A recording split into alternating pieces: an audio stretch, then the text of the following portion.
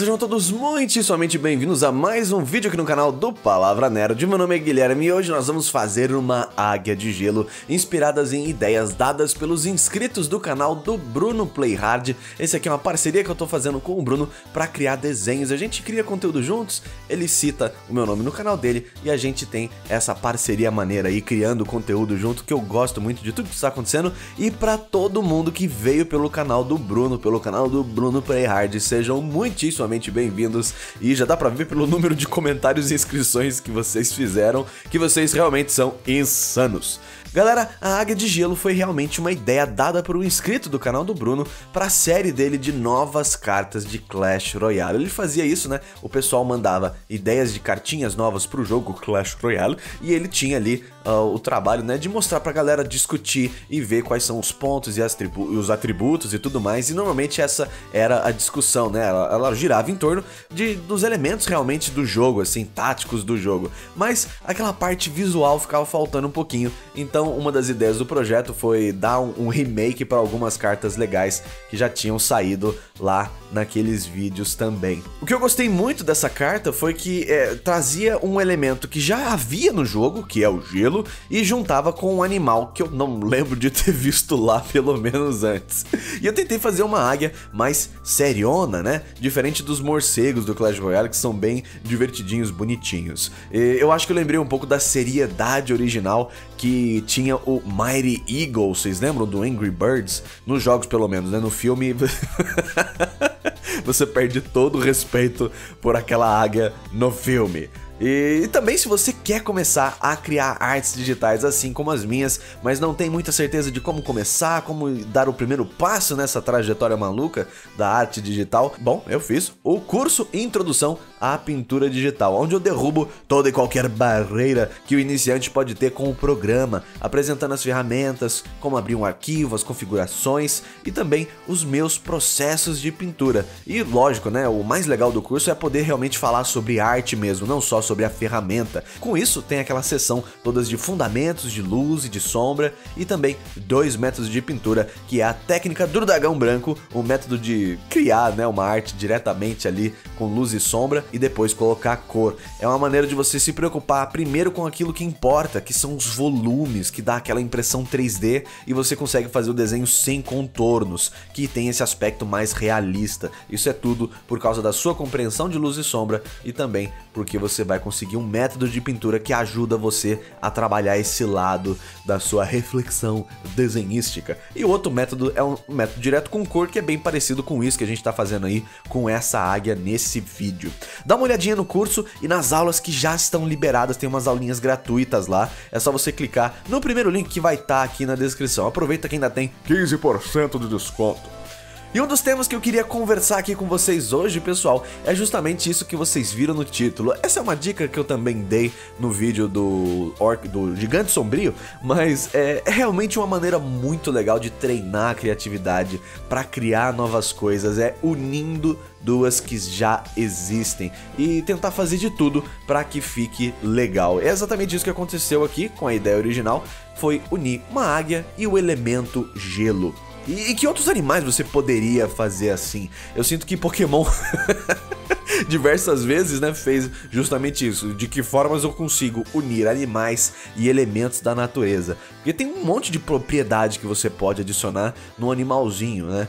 E, por exemplo, Pikachu é um rato elétrico, né? É, é, só isso, é só o conceito rato elétrico, mas o que, que faz o Pikachu funcionar? Não é necessariamente o conceito de rato elétrico, né? Qualquer um pode pensar águia de gelo, rato elétrico, não sei o que, não sei o que, é só unir dois nomes. Mas a questão é achar uma solução de design que funcione com isso. Isso que é o, o, desafio mesmo. Uma coisa que vocês podem ver que eu fiz aí nessa águia, eu tentei fazer ela bem cabeçuda e com as perninhas bem grandes também, né? As patinhas bem grandes. Eu queria dar essa estilizada no desenho para que ele ficasse mais interessante. Isso é uma decisão de design, não é uma decisão de, de pintura, né? É realmente eu tentando criar algo que fique mais interessante. E vocês têm outras ideias e outras coisas que vocês podem aplicar esse tipo de coisa. Então, próxima vez que você falar ah, que eu não sei o que desenhar, pega um animal qualquer, mistura com um elemento e se esforça para fazer aquilo ficar divertido e interessante. Já vai ser um baita do desafio, uma baita de uma reflexão para você. Nesse desenho, para quem olhou aí para as camadas, reparou no que eu fiz de verdade, você pode ver que a maior parte desse desenho foi feito inicialmente sem esboço, não tinha um esboço, né? Eu fiz ali uma primeira distribuição de shapes com o meu pincel, de formatos ali da águia, da disposição da, das asas, mas eu não fiz um contorno clássico, não, um esboço clássico com linhas e contorno e vários rabiscos. Eu fiz só uma ideia assim mais uh, resumida daquilo que poderia ser feito ali. E, e, isso é legal também, né? É uma maneira de você começar o desenho sem ficar mexendo ali um milhão de horas fazendo. Por exemplo, esses detalhezinhos da, da asa, eu poderia inventar eles na hora, na pintura, ao invés de definir todos eles antes. Mas eu sinto que hoje, né, eu tenho a, a, a independência para fazer isso. Antes era, era mais fácil com o rascunho. E eu sinto que isso vem também do seu amadurecimento como artista, né? Quando você vai começar a fazer coisas de uma forma mais direta, para quando você quer fazer algo rápido. Porque a intenção minha não era ser super preciso e super exato com cada um desses cristais eh, que estão aí na asa dessa águia. Era, era realmente fazer uma águia que ficasse interessante, que ficasse bonita, que tivesse os contrastes. Então eu queria focar na pintura e não tanto assim no design dela. Então por isso que eu fiz esse desenho desenho, mas sem esboços. E outra coisa que você pode ver é que ela tá feita praticamente em uma camada só, né? Eu fiz quase toda ela em uma camada só. Alguns ajustes eu fazia numa outra camada, mas assim que eu via que eles estavam funcionando, eu mesclava as camadas de novo e elas viravam uma camada só novamente.